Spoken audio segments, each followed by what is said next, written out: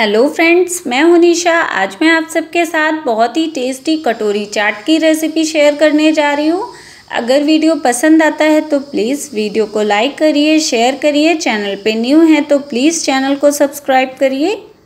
तो चलिए कटोरी चाट बनाना स्टार्ट करते हैं। कटोरी चाट बनाने के लिए हम सबसे पहले चाट की कटोरी तैयार करेंगे।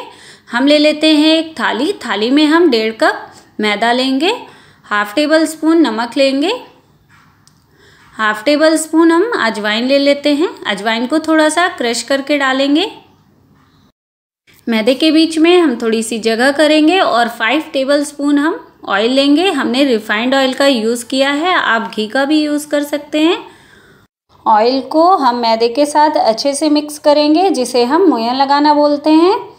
तो मोयन हमने अच्छे से लगा लिया है। आटा जो हमारा है, वो मुट्ठी में अच्छे से बंधने लग गया है। इसका मतलब है कि मोयन हमारा परफेक्ट है। हम थोड़ा सा पानी डालेंगे, एक सॉफ्ट डो तैयार करेंगे।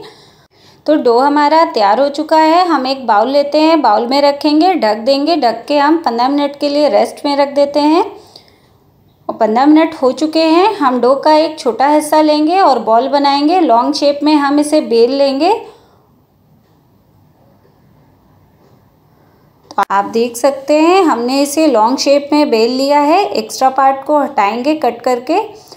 उसके बाद हम इसे लेयर्स में कट करेंगे।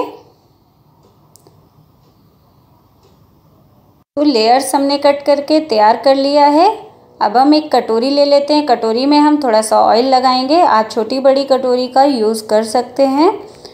और एक एक लेयर्स को उठाएँगे और पानी लगाते हुए पानी से हम चिपकाते रहेंगे। बीच में हम पानी लगाएँगे, फिर दूसरी लेयर रखेंगे।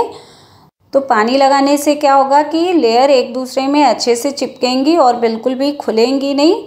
तो बिल्कुल ऐसे ही आपको भी एक एक लेयर को उठाना है और एक चटाई नुमा कटोरी हम चाट के लिए तैयार करेंगे।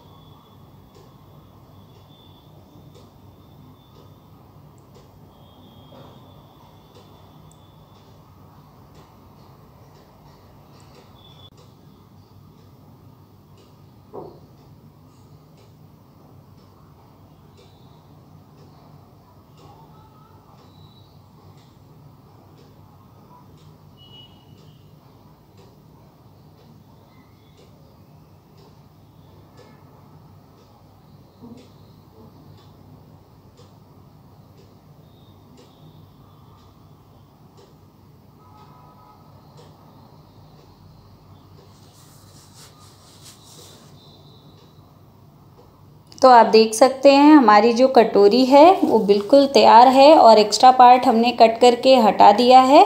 ऐसे ही हम सेम प्रोसेस के साथ दूसरी कटोरी भी तैयार कर लेते हैं।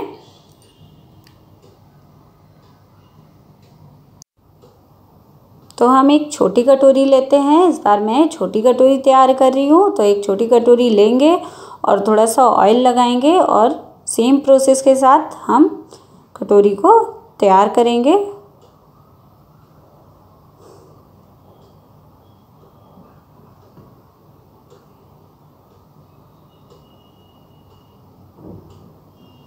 इसका भी हम एक्स्ट्रा पार्ट हटा देंगे और आप देख सकते हैं हमारी एक बड़ी और एक छोटी कटोरी बिल्कुल तैयार है और अच्छे से चिपका देंगे। ऑयल भी हमने गर्म होने के लिए रख दिया था। ऑयल हमारा अच्छे से गर्म हो चुका है। गैस की फ्लेम को बिल्कुल स्लो करेंगे और कटोरियों को हम फ्राई करेंगे। तो ऑयल में हम कटोरी को डालेंगे और एक मिनट के बाद हम देखेंगे कि वो कटोरी छोड़ दे रही है। तो कटोरी को हम बाहर निकाल लेते हैं और उसे अच्छे से पकने देते हैं स्लो गैस में। तो कटोरी को हम लाइट गोल्डन होने तक फ्राई करेंगे। आप देख सकते हैं हमारी क्रिस्पी सी कटोरी बिल्कुल फ्राई हो चुकी है। हम इसे बाहर निकाल लेते हैं। ऐसे ही हम दूसरी कटोरी को भी फ्राई करेंगे।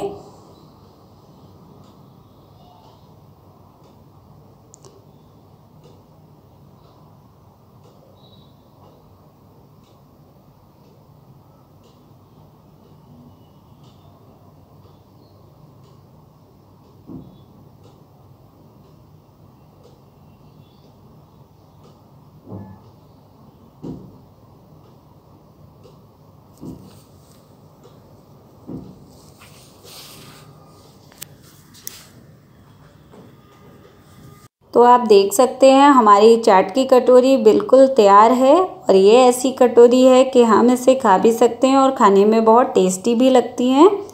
तो चलिए, अब हमारी कटोरियाँ तो तैयार हो गई हैं, अब हम चाट बनाना स्टार्ट करेंगे। तो आप देख सकते हैं, हमने चाट बनाने के लिए सारी तैयारियाँ कर रखी हैं।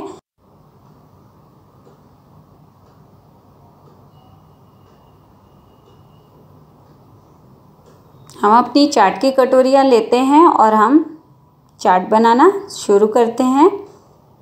हम कटोरी में सबसे पहले बॉयल पोटैटो डालेंगे। आप अपने टेस्ट के अकॉर्डिंग पोटैटो कम ज़्यादा, सारी चीज़ें ही कम ज़्यादा कर सकते हैं। थोड़े से हम बॉयल छोले डाल देंगे, थोड़े से हम सेब डाल देते हैं। थोड़े से हम कटे हुए ऑनियंस डाल देंगे, थोड़ी सी हरी मिर्च डाल देंगे, थोड़ा सा धनिया डालेंगे और थोड़ा सा दही डाल देते हैं। हरी चटनी डालेंगे, लाल चटनी डाल देंगे, मीठी चटनी है ये। थोड़ा सा नमक डाल देंगे, थोड़ी सी रेड चिली पाउडर डाल देते हैं। आप अपने टेस्ट के अकॉर्डिंग कटोरी चाट तैयार कर सकते हैं दोस्तों। तो आप देख सकते हैं फ्रेंड्स, हमारी कटोरी चाट बिल्कुल रेडी है। देखने में भी बहुत ही प्यारी लग रही है और खाने में भी बहुत ही ज़्यादा टेस्टी है। एक बार आप भी ट्राई ज़रूर करिएगा। आपको मेरी वीडियो कैसी लगी, मुझे कमेंट करके ज़रूर बताएँ। अगर आपको मेरी वीडियो पसंद आती है तो प्लीज़ वीडियो को लाइक करिए शेयर करिए। चैनल पे न्यू है तो प्लीज़ चैनल को सब्सक्राइब करिए, बेल आइकन को प्रेस करिए, ऑल पे सेलेक्ट करिए, जिससे कि आपको मेरी न्यू वीडियो का नोटिफिकेशन मिल सके। Thank you friends.